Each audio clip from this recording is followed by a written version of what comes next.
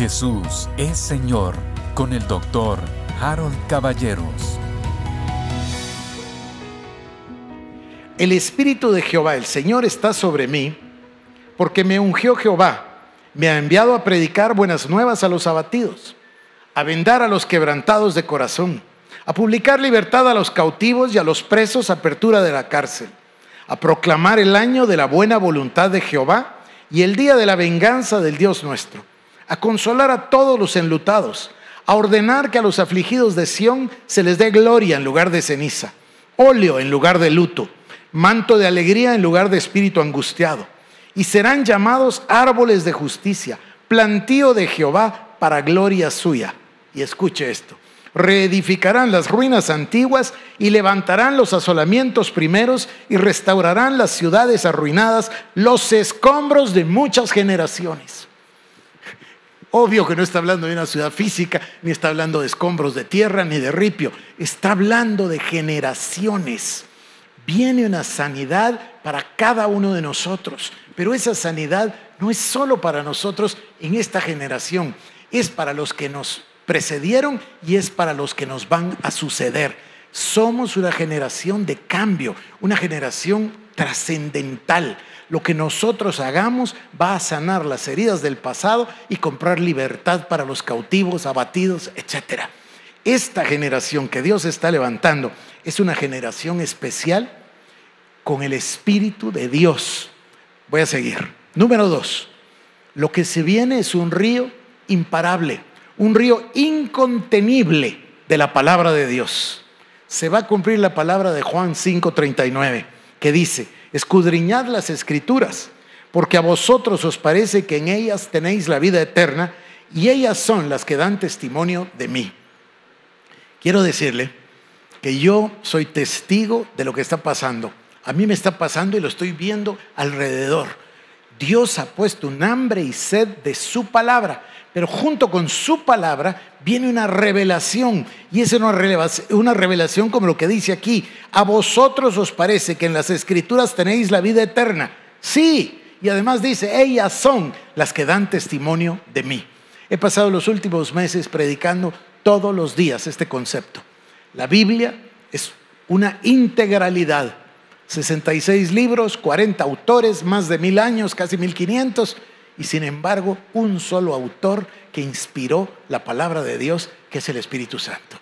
Y entonces hay una unidad en toda, y toda la palabra nos habla de Cristo. La palabra misma es Cristo, Él es el verbo, y sin Él nada hubiese sido hecho, así dice la Escritura. Bueno, número tres, viene para nosotros un derramamiento de su Espíritu. Ah, ya usted pensó que iba a decir un derramamiento del Espíritu Santo, porque así decimos siempre. No, no, esto es más preciso.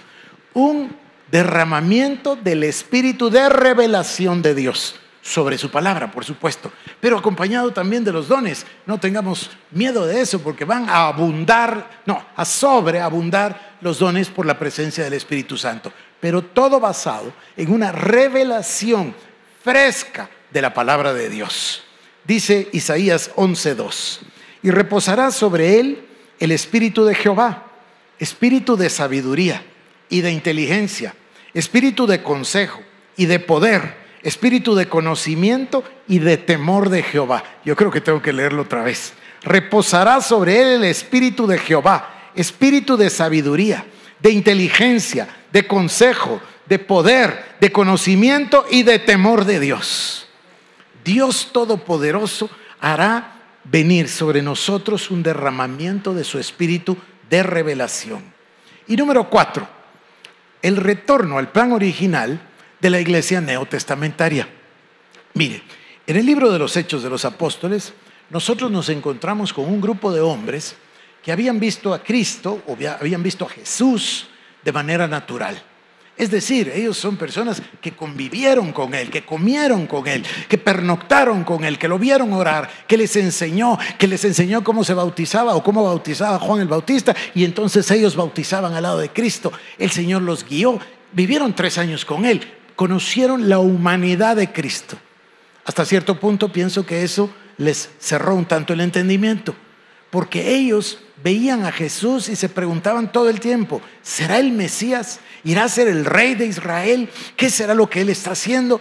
Pero no tenían una plena revelación. Para explicar esto el otro día, el Señor me dio una analogía preciosa. Es una moneda. Una moneda siempre tiene dos caras.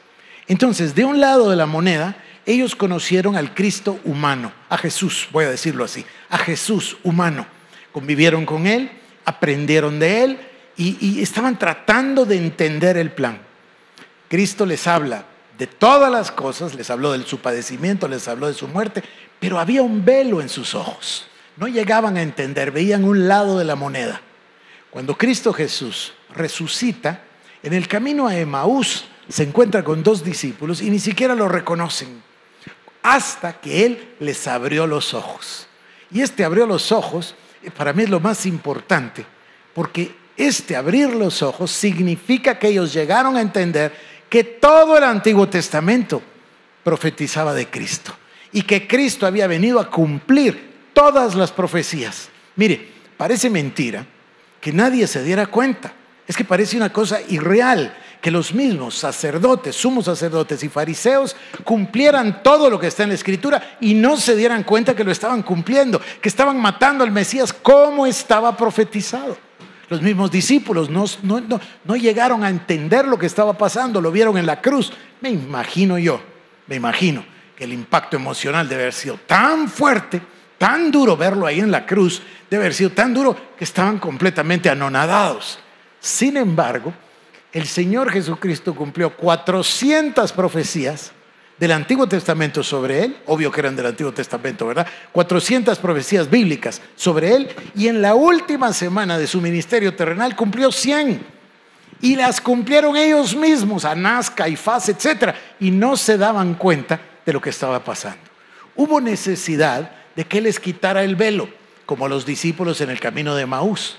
Pero también hay otro hecho que a mí me parece más importante. Y es que Dios levantó a otro discípulo, a otro apóstol, a otro hombre que se llamaba Saulo y se le presentó a Saulo. Y dijo, mira, apártame a Saulo, porque le va a ser necesario padecer mucho por mí. Y Saulo le dijo desde el primer instante, Señor, ¿qué quieres que yo haga? Fue la primera expresión de Saulo. Lo reconoció y dijo, Señor, ¿qué quieres que yo haga? Y a Pablo le fue dada la revelación, el otro lado de la moneda. Es Pablo el que nos explica lo que sucedió. Mire, no estoy demeritando de ninguna manera. Los evangelistas, los cuatro, Marcos, Mateo, Lucas, Juan, nos muestran lo que sucedió de un lado de la moneda. Pero, pero Pablo nos enseña lo que sucede en el Espíritu. Esto es lo que Cristo hizo. Cristo nos redimió. Esto es lo que Jesucristo hizo. Cristo fue hecho pecado para que nosotros fuésemos hechos la justicia de Dios en Cristo Jesús. Esto es lo que Jesucristo hizo. Nos reconcilió con Dios, nos dio el espíritu de adopción para que podamos llamarle Abba Padre. Y, y es Pablo el que nos da una revelación enorme del espíritu, que el espíritu de la edad que Cristo le da y que entonces Pablo nos puede transmitir. Ahora, la iglesia, si la iglesia tiene la moneda completa y tiene la parte de Jesús, ahora tenemos la segunda parte que es Cristo. Y vamos a entender lo que Jesús hizo. Y ese espíritu de revelación es el que viene sobre la iglesia de este tiempo. Esto ya comenzó a pasar y como les digo, va a ser un río incontenible de la palabra de Dios, un río de revelación del Espíritu Santo a todos aquellos que escudriñan la palabra y tengan hambre y sed de Dios. Pero, ¿qué más pasó en el libro de Hechos? Bueno, miren, a mí me sorprende esto. El Señor Jesucristo resucitó y se reunió con ellos por 40 días. Se da cuenta que ellos tuvieron un, un curso intensivo de evangelismo, de predicación, de formación de iglesias, un curso bíblico intensivo en 40 días con el mejor maestro que ha existido en la historia, el Señor Jesucristo resucitado. Y les da el mandato para la iglesia, Mateo 28, 19, por supuesto usted lo sabe. Entonces Cristo les dice, bueno, me voy, pero no los voy a dejar huérfanos. Voy a darles otro consolador que va a estar con ustedes para siempre. Él les va a enseñar todas las cosas. Él les recordará todo lo que yo he dicho. Él los va a ungir. Quédense en Jerusalén porque van a ser ustedes investidos de poder de lo alto. Y ahí, en el día de Pentecostés, el Señor Jesús asciende y días, días después, en el día de Pentecostés, el Espíritu Santo desciende sobre ellos y los llena de poder. Ahí justamente se da la fiesta de, las cosechas, de las primicias. Bueno, ¿y qué cosecha tuvieron? Tres mil almas tuvieron ese día, se recuerda. Pero mire este dato. Se pone de pie Pedro a ver si usted me agarra la idea de, la moneda. Un Pedro que vivió tres años, un Pedro que conoció a Jesús, un Pedro que vio la humanidad de, de Jesucristo, un Pedro que dice, tú no me puedes lavar los pies. El Señor le dice, si no te lavo los pies no, estarás, no tendrás parte conmigo. Entonces lávame completo. Esa impulsividad, esa emocionalidad. Un Pedro que dice, yo no te voy a dejar jamás antes de que cante el gallo.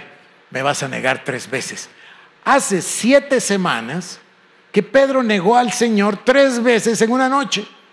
Y ahora es otro Pedro, ungido por el Espíritu Santo, que se pone de pie y da un sermón, discurso, prédica, lo que usted le quiera llamar, 100% bíblica, toma la profecía del Antiguo Testamento, la trae al día de hoy, les demuestra todo lo que hicieron y les demuestra quién es el Mesías. Igual va a ser Esteban en su martirio e igual hace por supuesto Pablo y Pedro lo hace mucho más de una vez. Y después encontramos nosotros la revelación paulina en las cartas de Pablo y encontramos una revelación extraordinaria en las dos cartas de Pedro. Incluso ustedes saben que se dice que el Evangelio de Marcos fue dictado por Pedro porque Marcos era su discípulo, pero es otro tema. Entonces, fueron totalmente transformados por el poder del Espíritu Santo. Y ese modelo de la iglesia, que llamamos iglesia primitiva, iglesia del libro de Hechos, eso es lo que se viene sobre nosotros. Si alguien quiere regresar al diseño original, bueno, ese es el diseño original. Bien haría leer hoy mismo, en esta noche, el libro de Hechos de los Apóstoles. Dios da la enseñanza para que la iglesia pueda realizar su mandato. Y luego, por supuesto, el Nuevo Testamento nos da la revelación de Jesucristo como Dios se la dio a él y la mandó a que la copiara Juan. Y tenemos el libro del Apocalipsis y tenemos el desarrollo del tiempo del fin.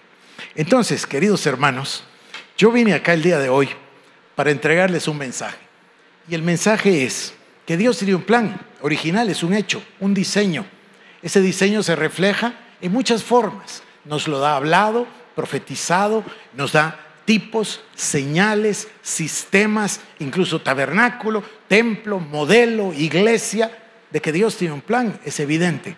De que Jeremías 6:16 nos manda a recuperarlo, es evidente. Pero además es evidente que el retorno nuestro no es al tabernáculo. El nuestro no nos toca tampoco ir al templo. Ya no hay más sacrificios. Cuando el Señor expiró se rompió el velo en dos partes se quedó descubierto el lugar santísimo, ya no había presencia de Dios ahí. ¿Por qué? Porque ya no habría necesidad de un macho cabrío o de becerros todos los años para cubrir los pecados, porque dice el libro de Hebreos que Jesucristo ofreciendo su sangre de una vez por todas ofreció sacrificio por toda la humanidad.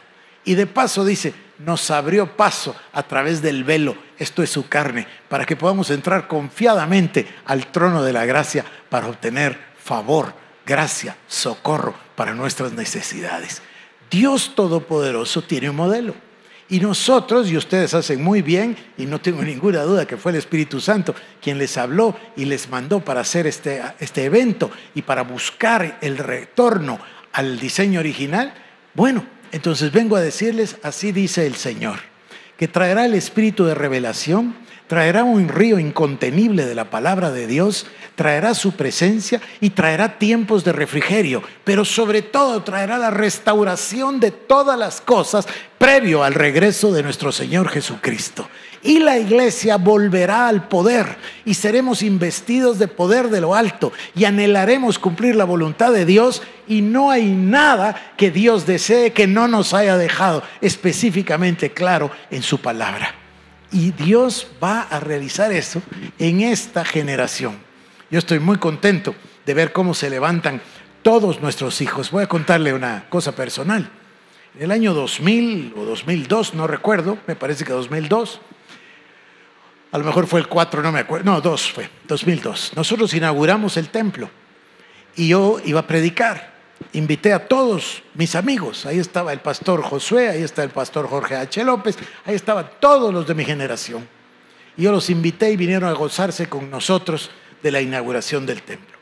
Pero yo tuve una gran agonía durante varios días, no voy a decir una semana más, porque yo quería el día de la dedicación del templo predicar algo que Dios hablara. No quería predicar un mensaje, yo quería predicar algo que Dios dijera. Y Dios me dio una palabra profética de siete puntos esa noche. Y una de ellas, y me estoy acordando del rostro del pastor Jorge H. López, porque a él lo usé de ejemplo. Uno de los puntos de la profecía fue, queridos hermanos, Dios nos habla a los pastores diciéndonos que detrás de nosotros se levantarán nuestros hijos y se dirán mejores cosas de ellos que las de nosotros. Y no serán hijos que se aparten del camino de Dios, sino que van a servir a Jehová. Y le digo al pastor Jorge López, tus hijos te superarán en todo porque servirán a Dios. Me recuerdo de eso, pero no era una palabra solo para el pastor Jorge, era una palabra para toda nuestra generación. Y hoy lo estamos viendo. Entonces yo hoy le hablo a la nueva generación y les digo, queridos hermanos y hermanas, tienen ustedes en sus manos el tesoro de la palabra profética.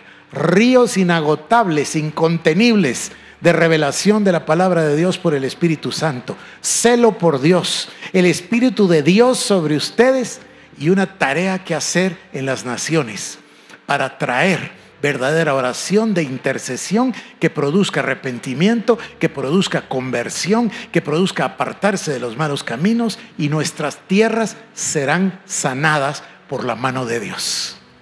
Queridos hermanos, en esta noche doy por terminada mi participación agradeciendo una vez más a la familia Muñoz, como ya les dije, les amamos muchísimo y por ende les amamos muchísimo a ustedes, Iglesia de Jesucristo. Gracias.